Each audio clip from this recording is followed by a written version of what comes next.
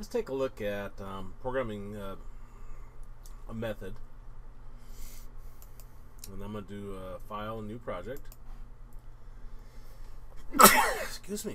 I knew that was coming. Okay, so we got an example of a method, and this is a, specifically a void. And we'll see what that means.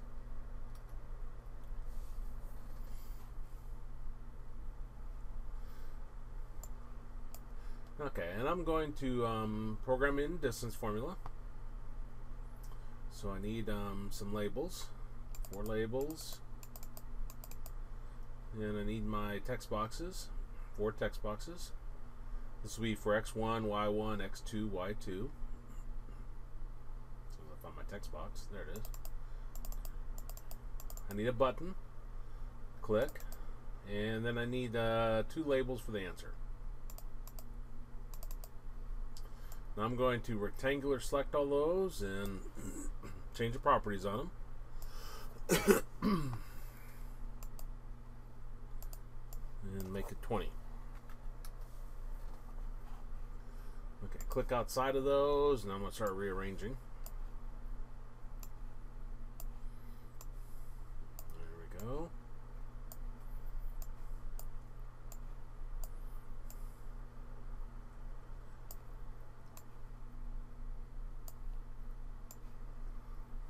And labels.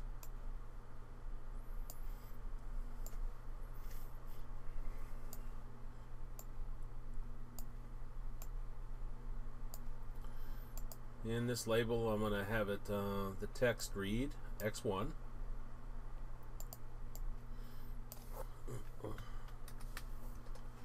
And this one will be Y1. This will be X2 and this will be Y2. Name of this one, uh, go up here, change the name, will be TB underscore X1. This one will be TB underscore Y1. This one will be TB underscore X2. Normally declaring variables with this name are going to be bad, but it actually works out well if you've ever seen distance formula. And this one I'm going to have it say distance.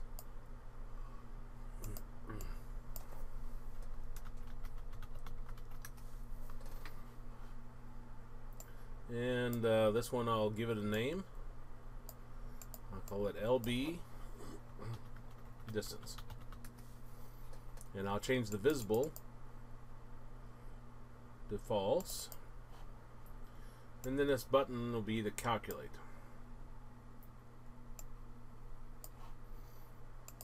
Change text on it, say calculate.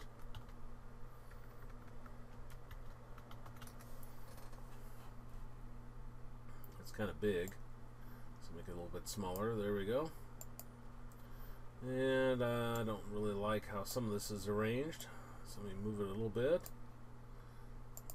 That's good enough. And I click the form and I want its text to say distance formula.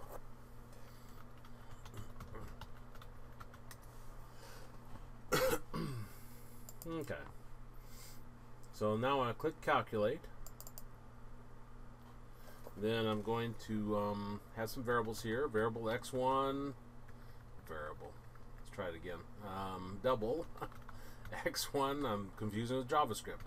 Um, y1, x2, y2, and my distance. Now x1 is going to equal to double dot parse and tb underscore x1 dot text. y1 is going to equal to double dot parse tb underscore y1 dot text. x2 is going to equal to double dot parse tb underscore x2 dot text. Y2 is going to equal to double dot parse tb underscore y2 dot text. Distance is going to equal to math dot square root beginning parentheses for the square root, then beginning parentheses for the y2 minus y1 squared, although I need to use math.pow on that. Math.pow, comma 2, plus math.pow of x2 minus x1, comma 2 for the second power, closing parentheses for the POW, closing parentheses for the the square root, semicolon. Now we'll return that. So I'll say LB distance, LB underscore distance is equal to dot um, text is equal to distance dot to string. And then I want to make distance vis visible. So visible is equal to true. Okay, so let's run this.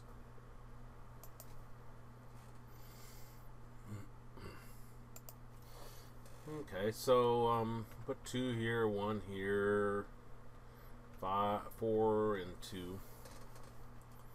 Um, click calculate. Yeah, looks about right. Um, four minus two is two squared, which is four.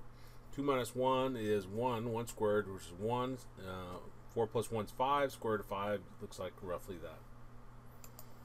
Got some formatting issues there, but I don't really care. Okay. Now what we can do, and this this program really won't show the power of it, but if for some reason I got quite a bit of code here, you can separate these into other methods. So I say private void, and I'll say um, calculate distance formula.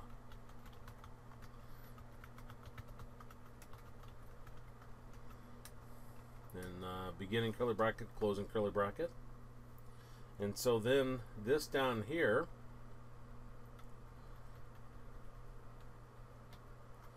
I'm going to copy that.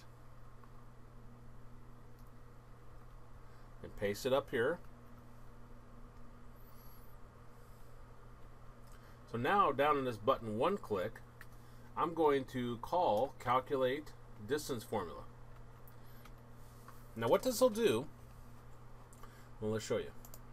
If I run it, I put in four here, one here, two, I don't know, three. Click calculate, gives us the value.